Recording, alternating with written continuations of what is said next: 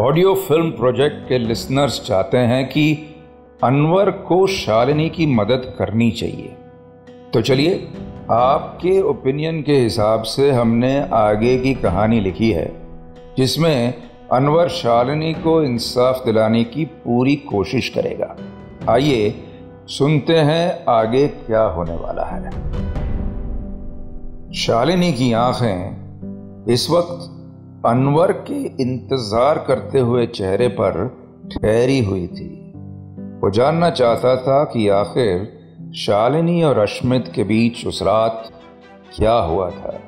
लेकिन शालिनी को खामोश पाकर अनवर ने थोड़ा सोचते हुए अपने जेब से कुछ निकाला और शालिनी के सामने रखते हुए एक गंभीर सी आवाज़ में बोला अगर तुम्हें अपनी कहानी की शुरुआत नहीं मिल पा रही है तो शायद ये फोटोग्राफ्स तुम्हारी कुछ मदद कर सकते हैं। शालिनी ने सामने देखा तो ये वही फ़ोटोज़ थे जिसकी वजह से शालिनी और अश्मित का झगड़ा शुरू हुआ था।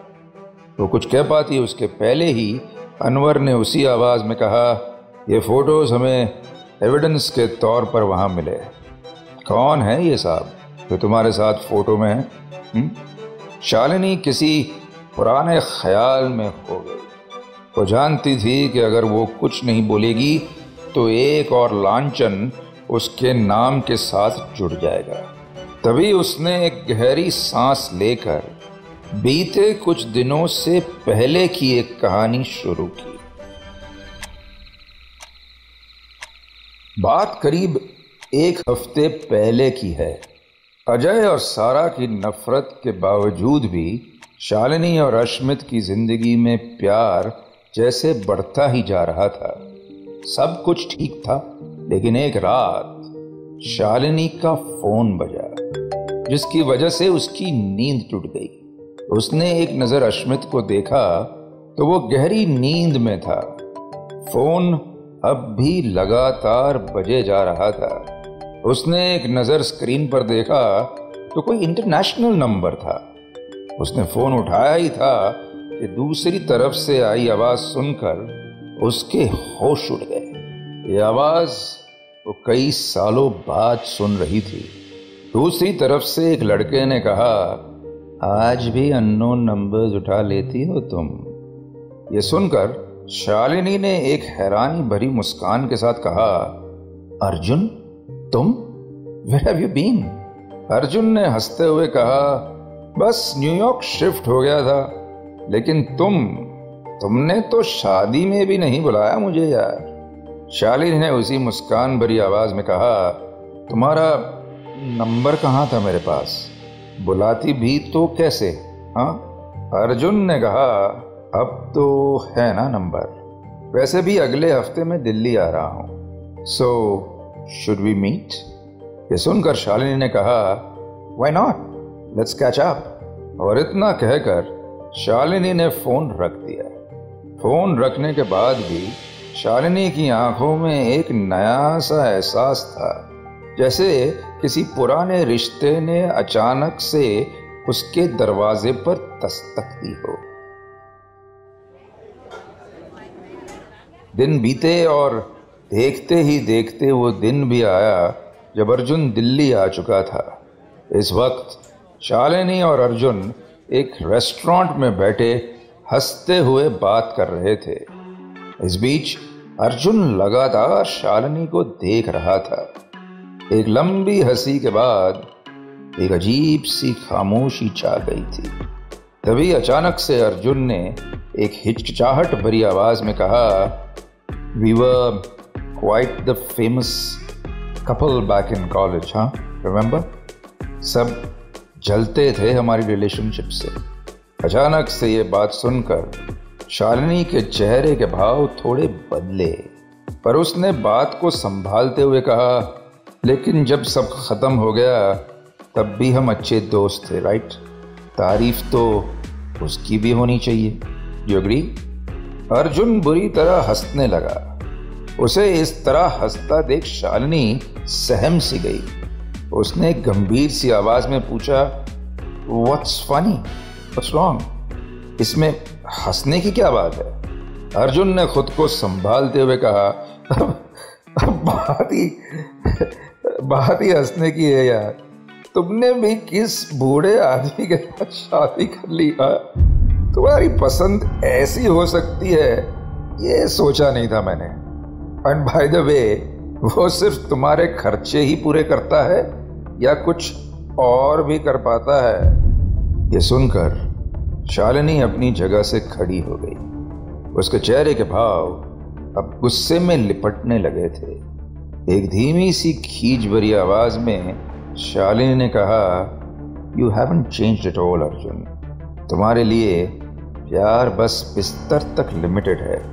सैड तुम क्या समझोगे प्यार क्या होता है? यह सुनकर अर्जुन भी अपनी जगह से खड़ा हो गया और एक उतावलेपन के साथ शालिनी का हाथ थामते हुए बोला, समझता हूँ प्यार क्या होता है। और वो प्यार मैं तुम्हें दे सकता हूँ, Shalini. You should just leave that old man and come with me मैं तुम्हें वो सब दूँगा जो वो कभी नहीं दे सकता। और ये कहते हुए अर्जुन शालिनी के करीब आने लगा। उसे ऐसा करते देख शालिनी को कुछ समझ नहीं आया और उसका हाथ उठ गया। आस पास बैठे सारे लोग ये तमाशा देख रहे थे। अर्जुन ने गाल पर हाथ रखे हुए एक नज़र शालिनी को देखा और फिर बाकी सब लोगों को। तो कुछ कह पाता, उसके पहले से शालिनी ने चीखते हुए कहा, हमारी दोस्ती की वजह से मैं यहाँ तुमसे मिलने आई। लेकिन अगर आज के बाद तुमने मुझे फ़ोन करने या मेरे करीब आने की कोशिश की तो मैं पुलिस कंप्लेन कर दूँगी, Arjun. Please remember this and understand it well और इतना कहकर शालिनी वहाँ से चली गई। और उसे जाता देख अर्जुन मुस्कुरा रहा था, क्योंकि शालिनी ये नहीं जानती थी कि कोई था जो अर्जुन और उसके फोटोग्राफ्स खींच रहा था। शालिनी की सारी बात अनवर बड़े ही ध्यान से सुन रहा था। अपनी बात को खत्म करते हुए शालिनी ने कहा, अर्जुन से मिलने के बाद जब मैं घर लौटी तो पता नहीं ये फोटोग्राफ्स अश्मित के पास कैसे आ चुके थे। वो बहुत ज़्यादा गुस्से में था। ये बात हमारी एनिवर्सरी से एक दिन पहले की है। और बस, उसके अगले दिन भी हमारा इसी बात को लेकर फिर झगड़ा हुआ। लेकिन उस दिन अश्मित जैसे पागल हो गया था। आई गॉट स्कैर्ड और मैं जाकर जाकर कमरे में बंद हो गई। और उसके बाद उसके बाद जब बाहर आई तो तो अश्मित ये कहते हुए शालिनी का गला भर गया था। अनवर ने कुछ देर सोचते हुए कहा, किसी का खून हुआ है। गोली चली और आपको आवाज़ भी नहीं आई। ये सुनकर शालिनी ने ना में सर हिला दिया। अनवर भी एक उलझन में पड़ चुका था। शालिनी की बात में कितनी सच्चाई थी। इस वक्त वो समझ पाना नामुमकिन था। लेकिन उसने अपनी जगह से उठते उठते कहा, इस अर्जुन को तो हम ढूंढ ही रहे हैं। और एक बार ये मिल गया तो सारी सच्चाई हमारे सामने होगी।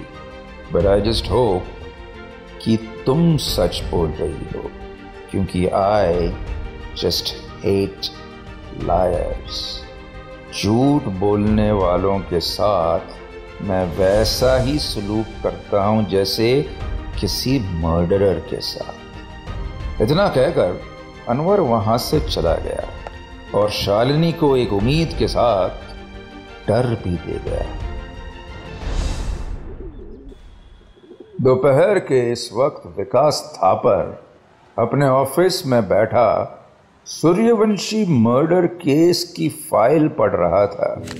इस बीच दरवाज़ा खुला और विकास की सेक्रेटरी रुजुता मलिक अंदर आई।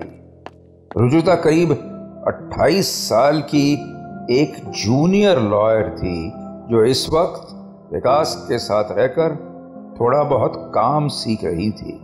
उसके चेहरे पर एक कॉन्फिडेंस साफ़ झलकता था। मगर इस वक्त एक उलझन थी जो उसके चेहरे पर जमी हुई थी।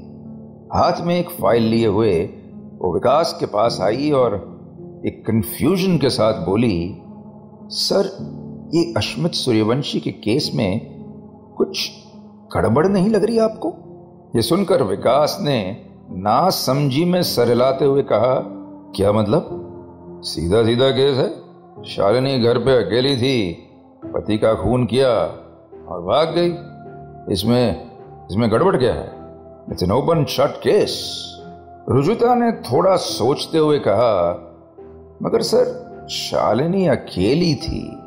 वो इतनी बेवकूफ़ तो नहीं हो सकती कि वो अश्मित को अकेले में मारे, क्योंकि इतना तो वो भी जानती होगी कि अगर ऐसा हुआ तो शक उस पर ही जाएगा। ये केस इतना सीधा तो नहीं हो सकता, sir. We should look into it little more ये सुनकर विकास ने हँसते हुए कहा यह केस सही और गलत के बारे में नहीं है, रुजुता। एक अच्छा लॉयर अपने क्लाइंट के लिए केस लड़ता है। ना कि किसी को इंसाफ दिलाने के लिए।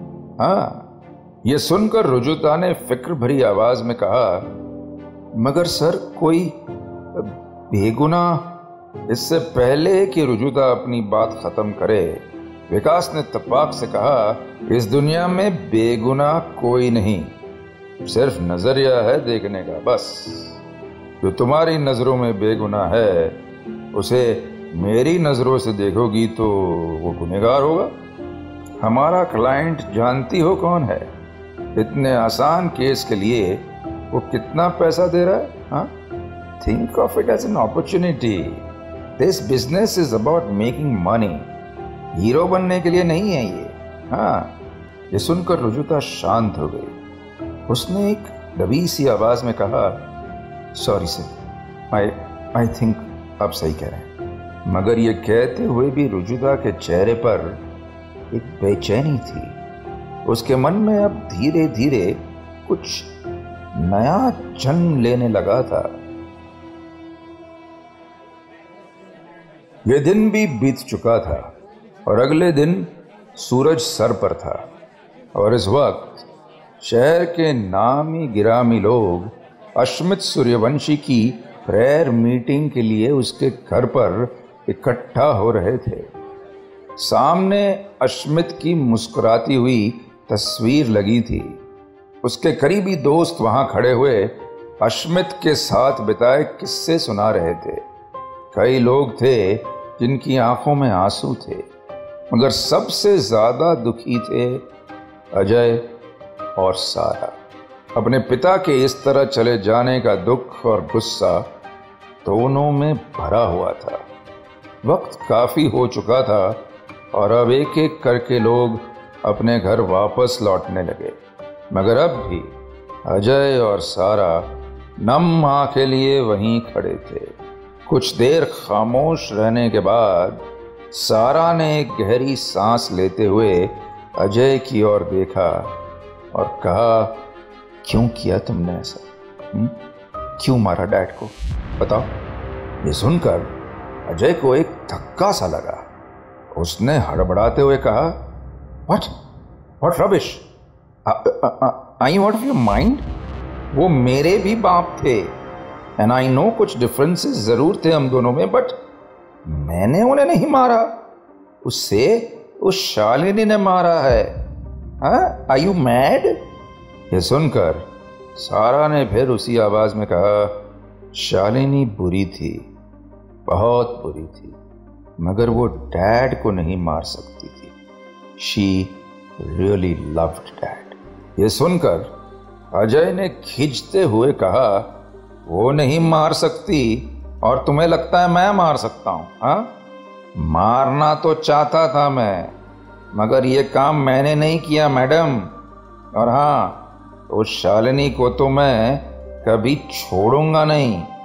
That woman is going to rot in jail and I don't care what you think about me इतना कहकर अजय वहाँ से चला गया। मगर सारा अब भी वहीं खड़ी थी और लगातार अपने पिता के फ़ोटो को देख रही थी। कुछ तो था जो उसके मन में चल रहा था।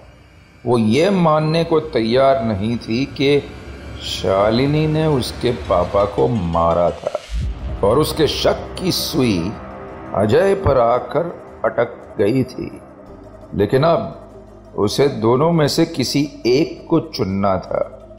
या तो वो अजय का साथ दे सकती थी या फिर शालिनी का। अब मेरे प्यारे सुनने वालों ये फैसला आपको करना है। हमें बताइए कि सारा को किसकी साइड लेनी चाहिए? अपने भाई अजय की, जिसे वो प्यार करती है, या फिर शालिनी की, जिसे वो नफरत तो करती है, पर कहीं बेकसूर भी मानती है। अब आपका फैसला तय करेगा कि कहानी का रुख क्या होगा। कहानी में आगे क्या होगा, ये डिसाइड करने के लिए लॉग इन करें रेड एफएम इंडिया के फेसबुक पेज या इंस्टाग्राम हैंडल पर और एक क्लिक से बदलिए कहानी का रुख।